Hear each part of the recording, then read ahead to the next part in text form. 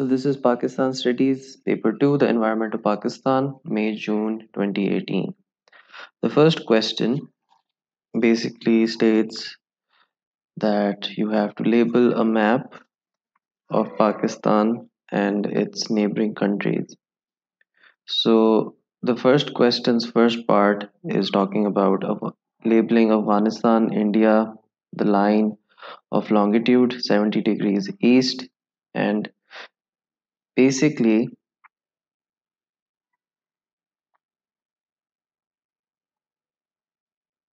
so basically uh, these are the labels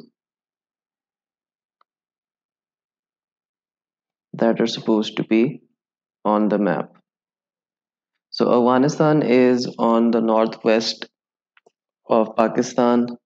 India is in the east the longitude is the center line. Which is running through the central part of Pakistan. And Tropic of Cancer. Is the line labeled in red. Which runs near the Arabian Sea. Closer to where Karachi is. And also intersects the 70 degree east longitude line. Now, on figure, uh, describe Pakistan's location in relation to other countries in South and Central Asia. So this is like three marks. So any of the three points, such as Pakistan is part of is the western part of South Asia, or India is to its east, China to its northeast, Arabian Sea to the south, Afghanistan to the northwest, Iran to the southwest. So any of these points uh, in relation to the question will garner three whole marks. Part B talks about the figure 1.2 which is the insert which is right here. It basically shows a desert, right? So there are all of these features in a desert landscape that need to be highlighted. So what are some of the features? They are that it is sandy. There are dunes made of sand which you can see in the distance. There are ridges. Uh, there is very scant vegetation as you can see the land is pretty barren. There is no such thing as vegetation or greenery. And the shrubs or thorny bushes or rakh as they are called can be seen as well. So if you highlight all of these things in the answer, you will get full three marks. Now the second part of B, explain the challenges of living in a desert area such as the town shown. You should develop your answer. Now whenever the examiner asks that you should develop your answer, make sure that you should you should write it in a form which is more understandable. Like if you have something like high temperatures, don't just leave it at writing high temperatures and that's it. Elaborate your answer a little bit such as in during the day the temperature is hot during the night the temperature is cold. That is why there are high temperature variance and secondly unreliable rainfall. You can ex explain a little about that okay, how uh, reliable the unreliable the rainfall is. And because of the arid climate normally there is scant to no rainfall yearly. Difficult to have vegetation that is another point. As you can previously see that we've mentioned that in the first part as well. Because of the arid climate lack of rainfall all of this reason all of these reasons basically mean that there is difficulty to have proper vegetation Another point that can be used is animal rearing or herding is difficult because there is no water source and animals such as buffaloes or cattle or sheep they require water for sustenance and they require vegetation for sustenance. If they don't have any of that it will be very difficult for them to survive. So therefore another reason uh, is animal rearing is difficult. There are a lot of wild animals which are poisonous as well and that can also lead to a lot of harm. And also there is a lack of roads and infrastructure. So all of these points basically go in with answering this particular question. Now the third part of part b basically talks about the insert of 1.3 which which is basically showcasing a a northern region in Pakistan. There are mountains there are like scant vegetation here as well but you can see that there is a lot of snow gathered in the north now it is asking that state two features of the climate of the typical environment shown in the photograph. Now you don't you only have to uh, tell two features. So make sure that any of the two which makes sense with the picture you write. For for instance, you can talk about freezing temperatures and windy and dry climate. Over here, the overall perception is that in the north there are less chances of rainfall and secondly because of the free- freezing temperatures it is difficult to sustain life here as well. And since it's a two mark question you can just namely write two features and don't have to elaborate it further so you will get full two marks. C part suggests two ways in which latitude affects the climate. Now, latitude is basically, as you can see from the map, it, it basically talks about different regions. Now, the higher up we go, or the higher the north, the more north we go, we see that the temperature is variant in different regions. Like the north of Pakistan is different from the south of Pakistan, and especially areas where are near the Tropic of Cancer. So you will have cold climate here and warm climate and then hot climate. So there are different ways to elaborate on these points. Now basically you can talk about the fact that north is cold as it is further from the equator. South pakistan is hot with abundant sunshine as it is near the equator. So just two marks and if you have this answer down and given the reason that is given here you will get full marks Now, part D evaluate the extent to which natural topography of Pakistan limits human activity and economic development in the north of the country. Give reasons to support your judgment and refer to examples you have studied. You should consider different points of view in your answer. Now, whenever the examiner talks about the fact that you should consider different point of views in your answer, always talk about every aspect that is basically within the natural topography of Pakistan. For example, how does it limit human activity and how does it encourage human activity? All of these points then need to be elaborated in a proper manner so that you can garner the full six marks on hand. So, how does it limit human activity? Well, it the availability of flat land makes it impossible. Impact of topography on climate is very natural. Restrictions to development, there can not be a lot of development such as infrastructure industry so such as making roads making factories making industry it becomes a little difficult how does it encourage human activity well in the north there is a lot of potential for tourism uh, most of the dams or hydro electric power supplies that are made are near mountainous regions so that the water can be held firmly between ridges and mountains. And it also promotes cottage industry. So these are the three points that basically lead to encouraging of human activity in the north. Now basically you have to evaluate the answer along these points to gain maximum marks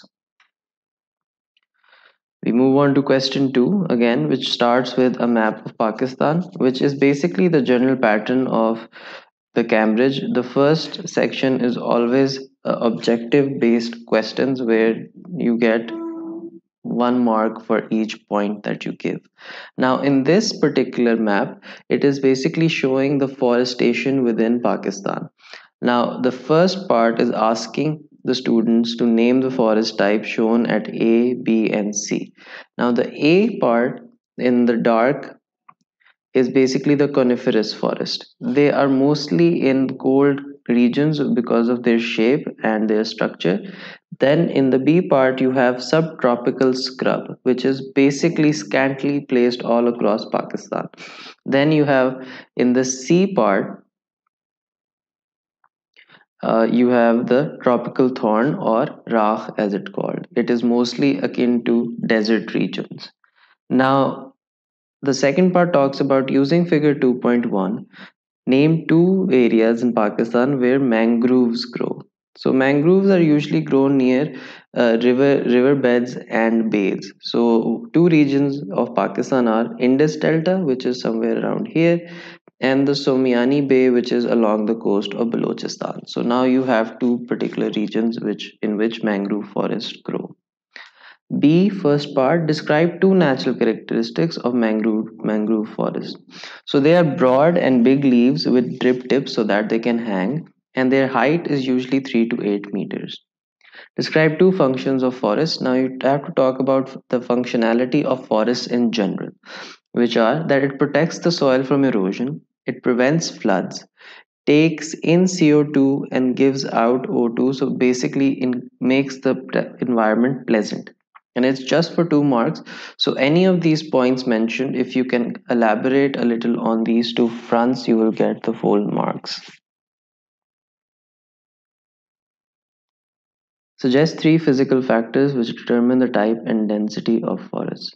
So altitude one reason then you have precipitation where more rainfall you have greener trees less rainfall dry climate you will have thorny bushes and type of soil salty and less fertile. Part C. Explain how this type of tree has adapted to the climatic conditions it grows in. You should develop your answer. Now, this particular tree, as you can see in the picture, has very conical shapes on the leaves, has a strong bark, strong structure overall. Now, you basically can start by saying that it is an evergreen short growing season for it because it only grows for a minimum amount of time. It has compact conical shapes, cone protects seeds during cold months. So it is in the colder climate, so therefore it needs that shape to protect its seed. Thick barks anchor against strong winds. So when the wind is going against the tree, it can stand firm because it has thick barks. state three causes of deforestation in Pakistan. Now, these are pretty simple. You can talk about the fact that there is a because of farming, there can be a lot of cutting down of trees. Construction of roads is another reason, and also industrial growth, where industries are made usually on if there are banks of forests uh, laid around the countryside, they will obviously be wiped out so that industry can be created. Now, the D part says around 5% of the land area of Pakistan is forested. To meet sustainable development, targets the amount of the land covered by forest needs to increase to 25% by 2030. Read the following two views about possible uses of land in Pakistan.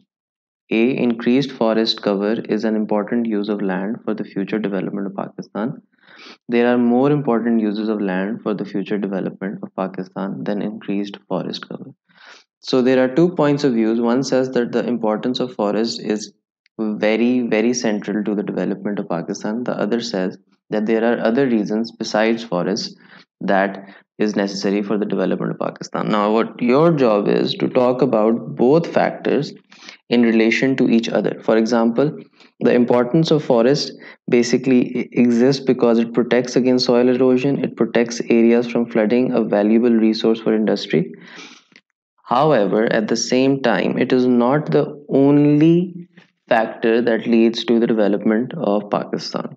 Importance of other uses of land is growing population needs new settlement. Because there is limited space available, a lot of areas cannot be made into forest anyways and food needs to be grown which needs a pathway of for clear processes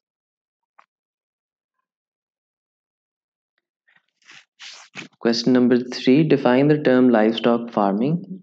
Basically livestock farming is about rearing and keeping of animals. State two uses of livestock on farms. It is plowing and irrigation. B part first. So now this is the first part of the insert, the second insert in the paper.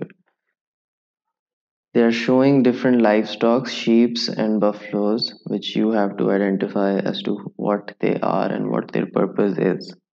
So in figure 3.1, what kind of cattle is being shown? They are cows. And in figure 3.2, what kind of cattle is being shown? That is sheep. Now name two products from livestock shown in figure 3.1.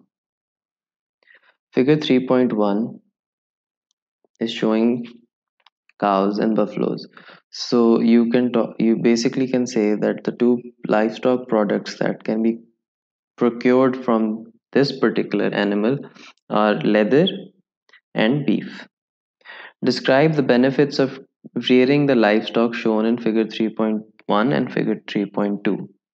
So, rearing livestock is usually a prestige for farmers. They are proud that they have a large arsenal of animals at their disposal, rearable in the most areas. And since these animals are widely rearable, they can be raised and easily kept. Therefore, that's another benefit to have these animals for farmers. And it's a valuable food source and it's also a monetary source because things like leather, beef, meat, any other product that is taken out from these animals can be sold and a lot of money can be made by the farmers through that. Part C Study the, a map showing the main regions of Pakistan where buffaloes are kept. So, here near the south of Punjab, the eastern side, and a central part of Sindh. These are the two parts where buffaloes are kept.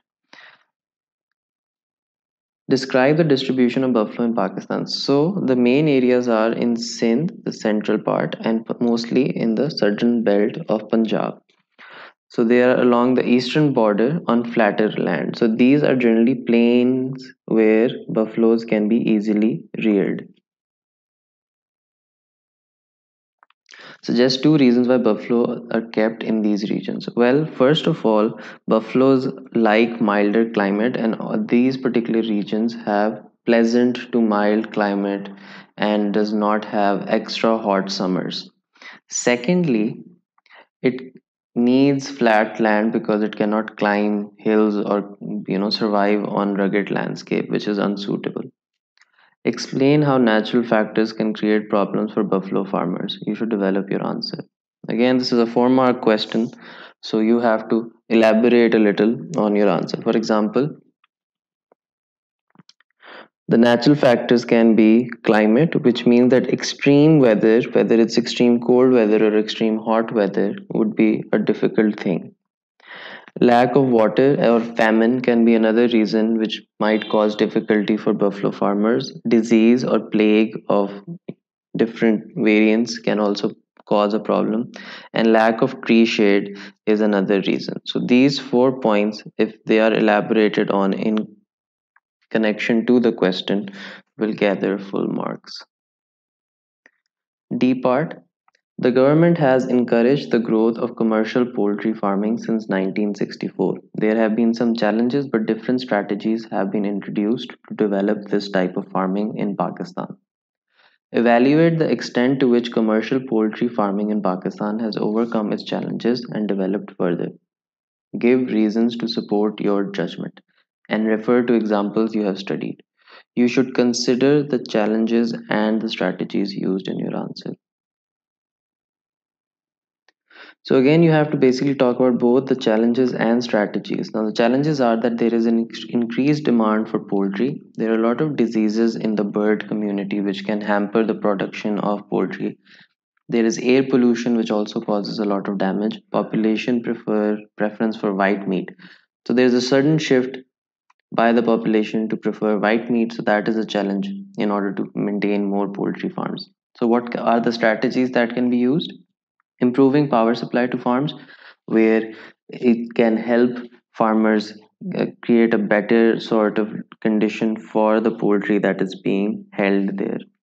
There are guidelines for rearing poultry like how what kind of things should be done to make sure that all of the poultry that is being raised is raised in accordance to proper health conditions and is healthy and well maintained vaccination programs to prevent diseases. Now, this is another strategy in which poultry gets vaccine so that they cannot get diseases.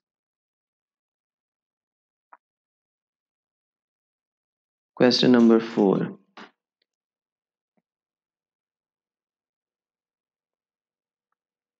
It shows a map uh, location of selected textile industries in Pakistan. Name three major textile centers labeled XYZ. Now, X is basically Hyderabad, Y is Karachi, and Z is Faisalabad. These are the three main producers of textile in Pakistan, producers of textile in Pakistan.